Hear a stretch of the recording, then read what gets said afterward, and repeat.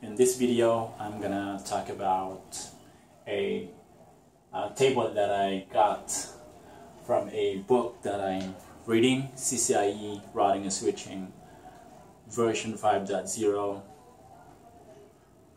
uh, volume 1, 5th edition by Narbik and Peter. Uh, they are both CCIE.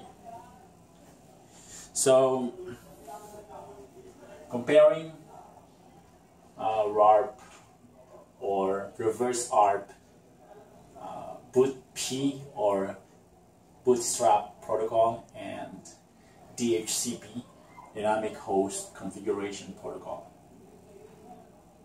So these three protocols are um, the, the ones that, I mean the protocols that we use if we want a host to discover its own IP addresses, its own IP address subnet mask, and other things. So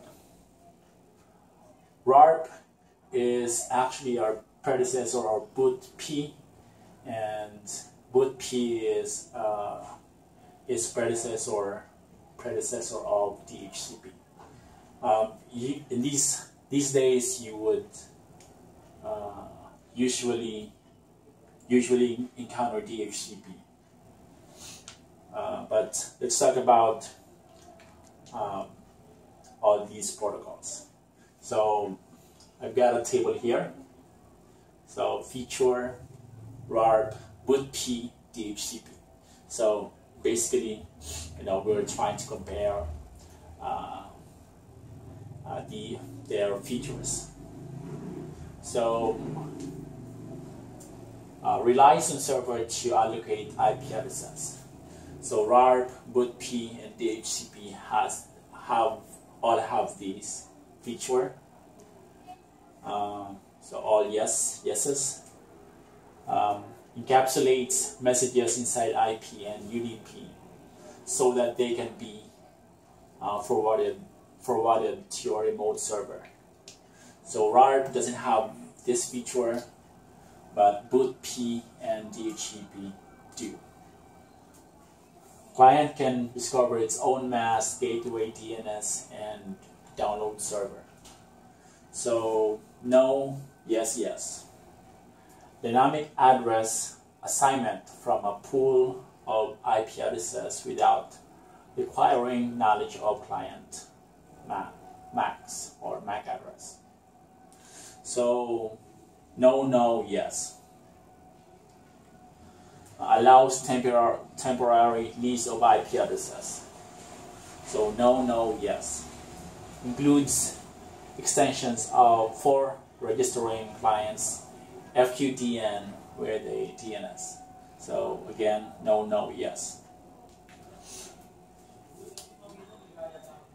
So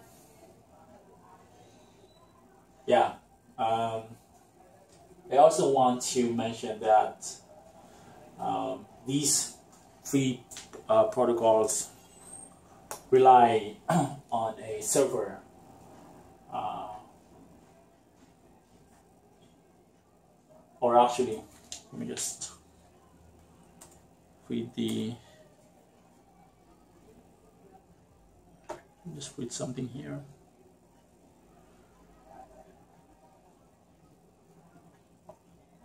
Where is it?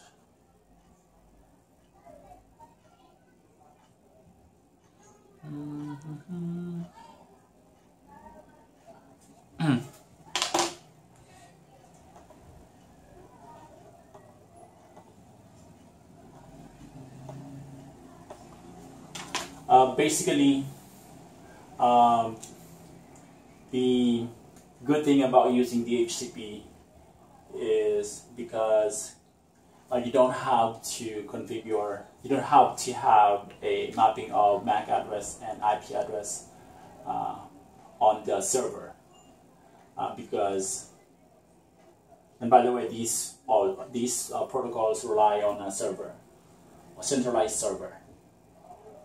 So with RARP and BOOTP, like I said, uh, you need to have the servers configured with uh, MAC to IP mapping. But with DHCP, you don't have to have that um,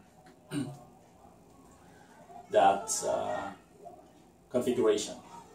So that's why you will see a lot of DHCP uh, protocol nowadays, not uh, not RARP and boot, BOOTP or Bootstrap protocol.